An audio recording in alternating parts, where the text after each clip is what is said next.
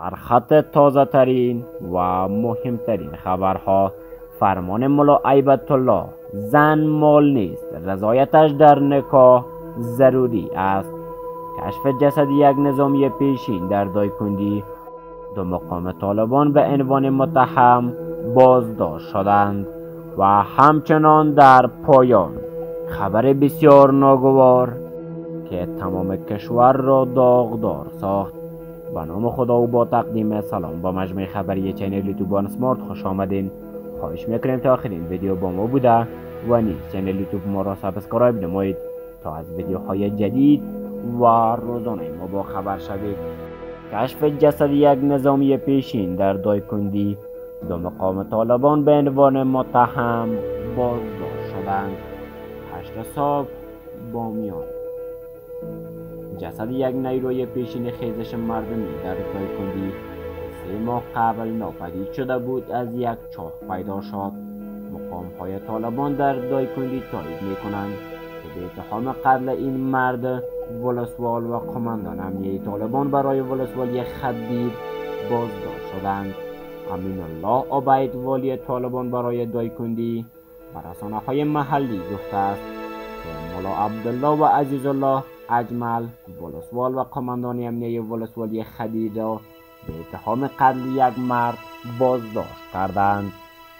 به قول عبید این مقام ها در حال حاضر در محبسات دایکندی زندانی هستند و دوسیه آنها به دادگاه فرستاده خواهد شد.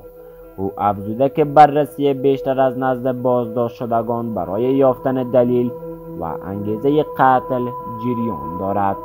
با گفته والی طالبان برای دایکندی خانواده مقتول به او مراجعه کرده بود که افراد طالبان در ولسوالی خدیر مقتول را با خود بردند و از سرنوشتش اطلاعی ندارند. یک منبع محلی به روزنامه هشت صبح تایید می کند که مقتول محمد علی نام دارد و باشنده اصلی ولسوالی خدیر دایکندی است. این مرد در دولت پیشین عضو خیزش مردمی بود. با قول منبع او حدود سه ماه پیش از سوی طالبان در ولسوالی خدیر بازداشت و سپس ناپدید شده بود. در این مدت اعضای خانواده وی نتوانستند معلوماتی از سرنوشتش به دست بیاورند و اکنون جسدش را از داخل یک چاه پیدا کردند. همچنان این در حالی است که یک صفحه فیسبوک رسمی به نام مسعودیان در روی صفحه رسمی فیسبوک خود چنین نگاشته است. سرباز وطن به تاریخ خواهد گفت سپاهی شکست خورده هستم که تفنگم توسط سرقماندان اعلاام به دشمن تسلیم داده شد. خون همه شهیدان کشور نادیده گرفته شد و من ماندم با یک عالم امیدها در سینه حبس. ما را ببخشید.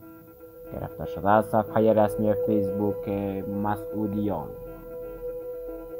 همچنان این در حالی است که فرمان ملا عیبت الله زن مال نیست رضایتش در نکاح ضروری است.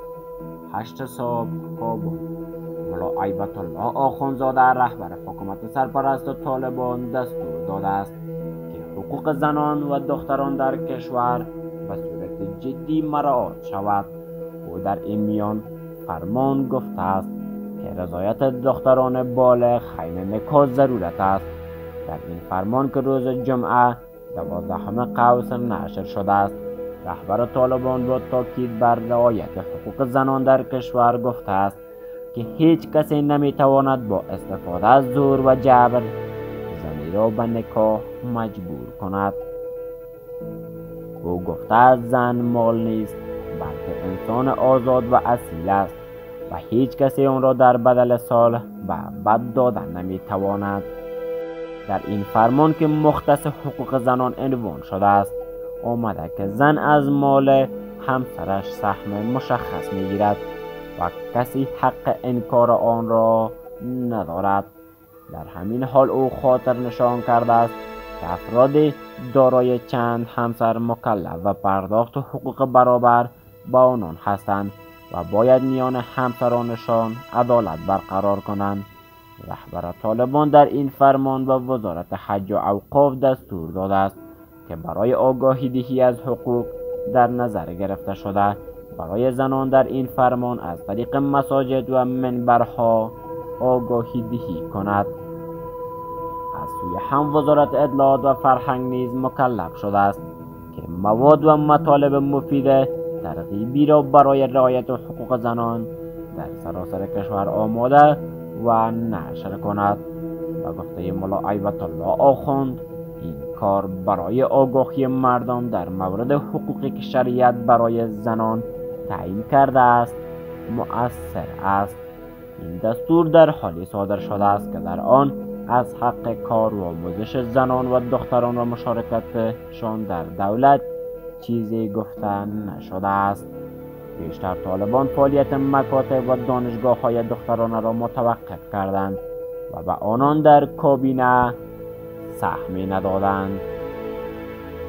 در همین حال فعالیت های تجاری در بندر ملیک در مرز میان افغانستان و ایران از سر گرفته شد. هشت صبح کابل. رسانه های ایرانی به نقل از مقامات گمرک این کشور گزارش دادند.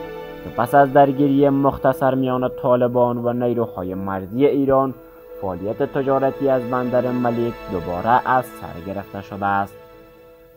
خبرگزاری ایسنا روز پنجشنبه یازدهم قوس گزارش داده است که فعالیت تجارتی در بندر ملیک واقع در مرز میان افغانستان و ایران که روز گذشته به درگیری متوقف شده بود دوباره از سر گرفته شده است. این رسانه به نقل از لطیفی سخنگوی گمرک ایران نوشته است. که پس از پایان درگیری میان نیروهای طالبان و نیروهای مرزی این کشور فعالیت تجاری در بندر ملیک از مربوطات ولایت سیستان و بلوچستان در مرز با افغانستان دوباره آغاز شده است. اصل روز گذشته دهم قوس نیروهای طالبان در نتیجه یک درگیری با نیروهای مرزی ایران چندین کیلومتر در خاک این کشور پیشروی کردند. که این درگیری در بندر میلک سبب توقف ترانزیت اموال تجاری شده بود. با تشکر که تا آخرین ویدیو با ما بودید. برای مشاهده ویدیوهای بیشتر channel یوتیوب Smart را subscribe نمایید و از ویدیوهای جدید و روزانه ما با خبر شوید.